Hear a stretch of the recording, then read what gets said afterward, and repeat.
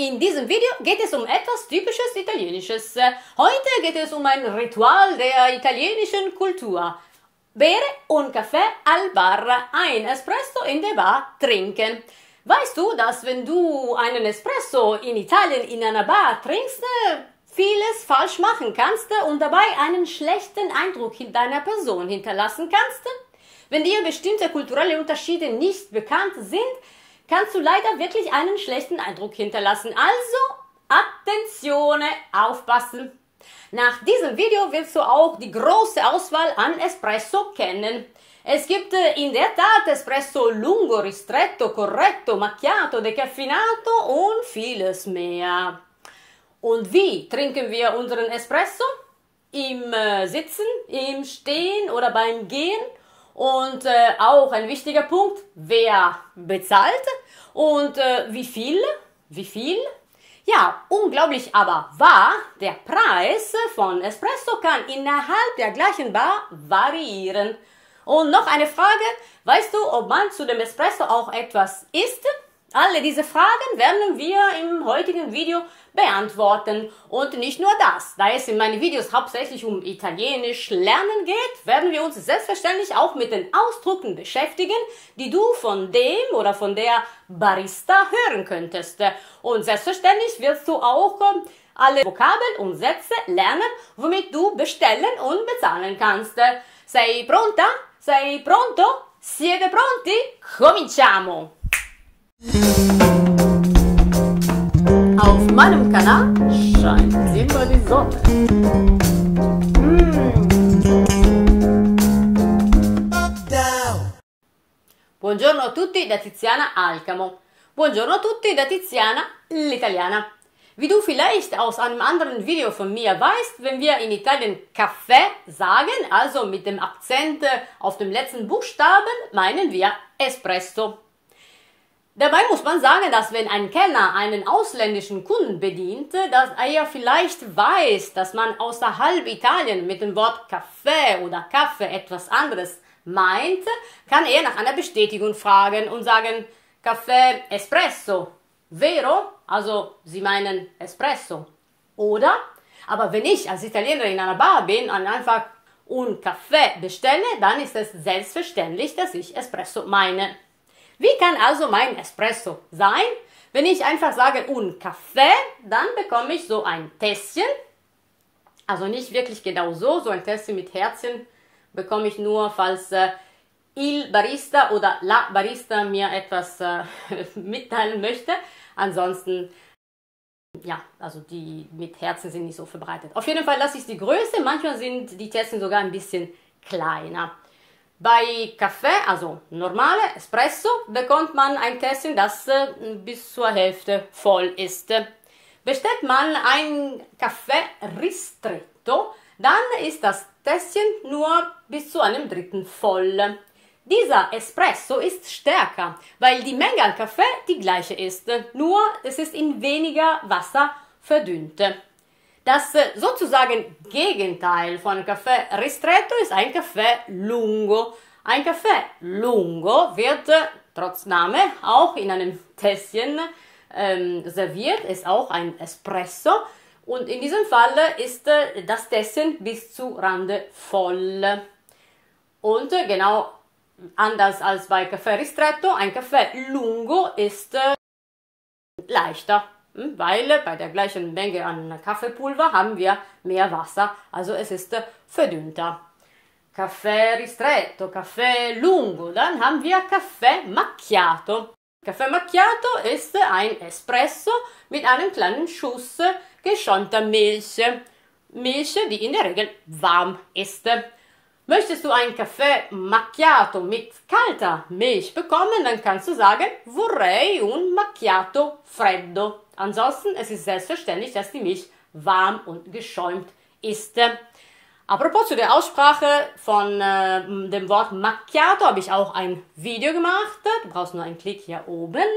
Und interessant ist, dass wörtlich übersetzt macchiato bedeutet gefleckt. Hm? La macchia ist ein Fleck. Macchiar heißt Flecken. Genau wegen äh, dieses äh, Schuss von äh, geschäumter Milch. Was haben wir noch? Wir haben zum Beispiel Caffè decaffeinato, also koffeinfrei. Also vorrei un decaffeinato kann ich sagen. Oder ich kann auch nur die Abkürzung benutzen und sagen vorrei un deca. Wir haben noch Caffè d'orzo. Caffè d'orzo ist ein Getreidekaffee.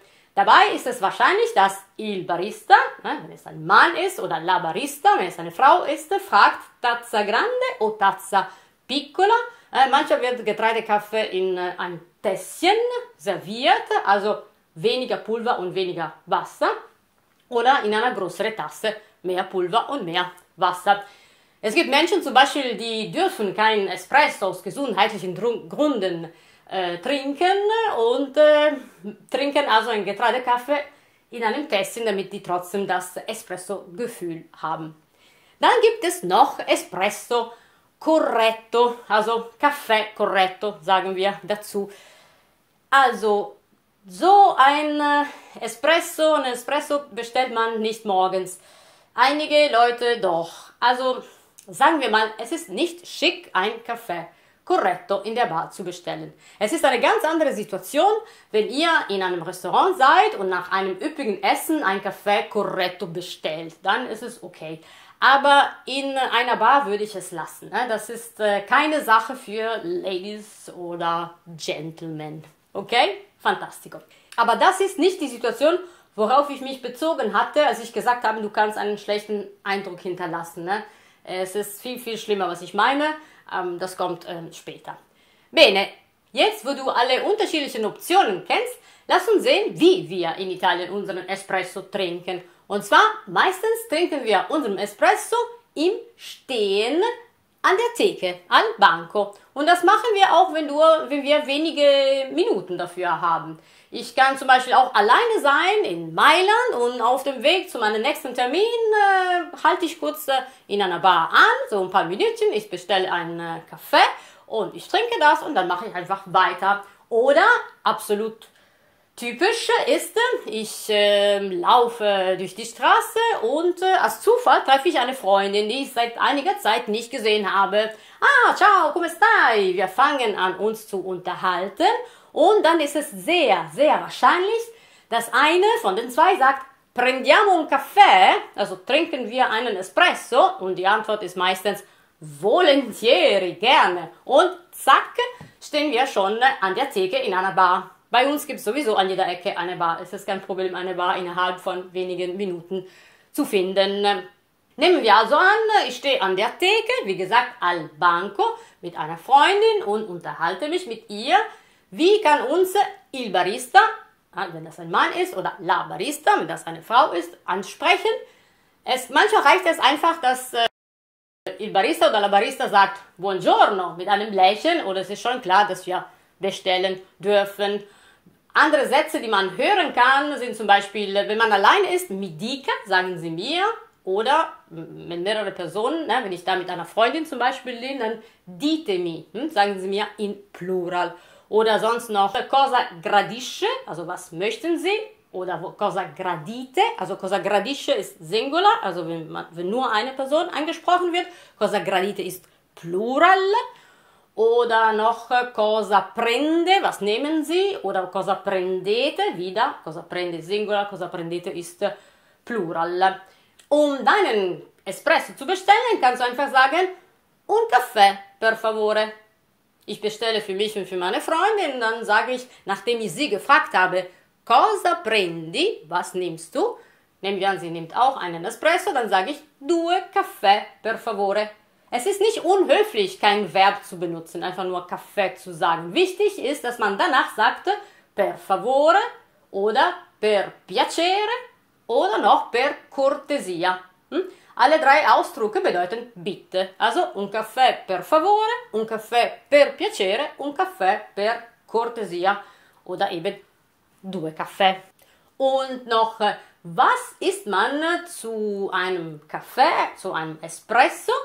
in der Regel ein Croissant und dafür benutzen wir das französische Wort Croissant, il Croissant oder la Brioche, auch ein französisches Wort. Also beide Vokabeln sind sehr verbreitet in Italien. Ne? Il Croissant, la Brioche, Croissant männlich, Brioche weiblich oder das echte italienische Wort dafür ist il cornetto, das Hörnchen. Also wieder kann ich sagen, vorrei, ich möchte un cornetto oder un croissant oder una brioche oppure prendo, ok?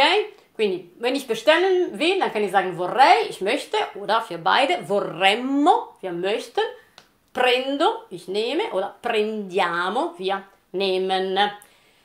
Ja, auch wenn es um Cornetti geht, äh, gibt's wieder die Qual der Wahl. Es gibt il cornetto alla marmellata mit Marmelade, il cornetto alla cioccolata, manchmal mit äh, Nutella, äh, gefüllt, oder noch il cornetto alla crema, so mit einem festen gelben hm, Tortencreme. Sehr lecker, das muss einfach probieren. Das kann ich nicht in Wörter beschreiben. Dann gibt es noch ähm, Cornetto con äh, la ricotta. La ricotta e il cioccolato und viel, viel, viel mehr. Falls du merkst, ich möchte lieber auf ein paar Kalorien verzichten, dann kannst du una brioche oder un cornetto vuoto, also brioche vuota, weil brioche weiblich ist, oder cornetto vuoto, croissant vuoto. Vuoto oder vuota bedeutet, äh, dass keine Füllung drinnen ist. Bene. Manchmal stehen äh, die Croissants äh, einfach in einer Vitrine und man kann sich bedienen oder manchmal muss man danach fragen. Ne? Also entweder bestelle ich das, vorher ein Croissant, oder ich gehe zur Vitrine und bei Unsicherheiten kann ich fragen, posso prendere un croissant? Darf ich? Ne? Posso prendere? Darf ich ein Croissant nehmen? Fantastico. Äh, ich hätte das nicht machen sollen, die Croissants so im Detail zu beschreiben. Ich meine damit, dass ich jetzt ein bisschen Appetit bekommen habe, aber continuiamo. Ein anderer Punkt ist, wie geht das mit den Bezahlen? Ne? Bezahlt man vor oder nach dem Verzehren? Das ist unterschiedlich.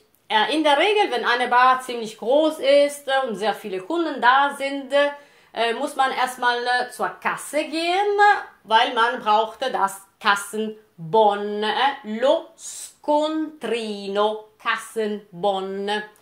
Ähm, manchmal ist es genau umgekehrt, man bestellt an der Theke, man bekommt den Kaffee, trinkt den Kaffee und dann geht man bezahlen. Wenn ich äh, zur Kasse gehe, dann sage ich einfach due Kaffee per favore. Dann weiß ich, wie viel ich bezahlen muss und kann mit meinem Scontrino zur Theke gehen.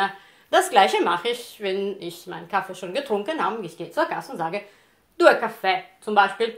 Oder ich kann auch sagen pago due Kaffee. Aber einfach zu erwähnen, was man bestellt hat, also simplify your life, äh, due Kaffee, due Brioche ist schon klar. Hm? Ich kann auch fragen, quante, wie viel macht das? Aber das ist auch selbstverständlich. Ich glaube, die Person an der Kasse äh, denkt, dass ich nicht einfach erzählen will, was ich äh, getrunken habe, einfach so als Spaß, sondern weil ich bezahlen will. Hm? Daher ist es klar. Also es reicht, wenn du sagst, un Kaffee e un Cappuccino und dann bezahlst du. Wenn du in einer Bar bist und ein bisschen unsicher bist oder einfach die Gelegenheit haben willst, ein bisschen Italienisch zu üben, dann kannst du zur Theken gehen und sagen, äh, serve lo scontrino? Braucht man den Bon? Oder devo fare prima lo scontrino? Äh, muss ich erstmal den Bon bekommen? Dann kannst du ein bisschen üben. Äh, ich habe manchmal in Deutschland, als ich angefangen habe, Deutsch zu lernen, nach dem Weg gefragt, auch wenn ich den Weg kannte, weil ich einfach üben wollte. Also, vielleicht kannst du das auch machen. Ich könnte eine Idee sein. Fantastico. Jetzt geht es äh, weiter um den Bezahlen, aber im Sinne von wer bezahlt.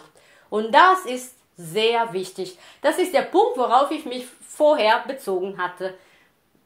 Hier gibt es wirklich kulturelle Unterschiede. Und zwar, wenn ich mit einer Freundin oder auch mit zwei Freundinnen Kaffee getrunken habe, also Espresso getrunken habe und vielleicht auch ein Croissant gegessen haben, in der Regel nur eine von uns bezahlt für alle. Wenn ich zum Beispiel meine Freundin einladen möchte, dann sage ich offro io, also ich lade dich ein. Oder ci penso io, ich mache es, na, ich bezahle.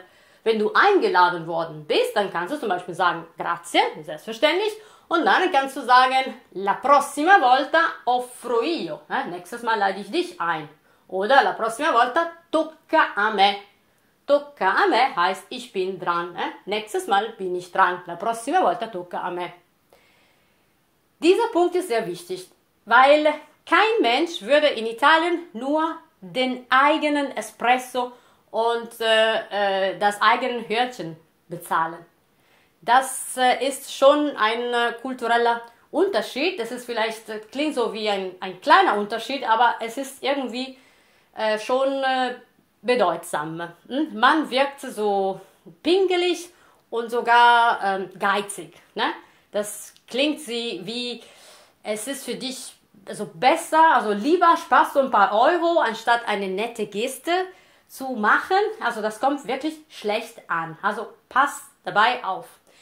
Dazu kannst du bedenken, ein Espresso kostet, ähm, okay, die Preise sind unterschiedlich im Norden oder im Süden Italien, aber im Durchschnitt kostet ein Espresso 1 Euro und du kannst sowieso damit rechnen, dass du nächstes Mal eingeladen bist. Also du hast kein Geld verloren. Das ist wirklich ein, das, das ist wirklich wichtig ne, zu berücksichtigen.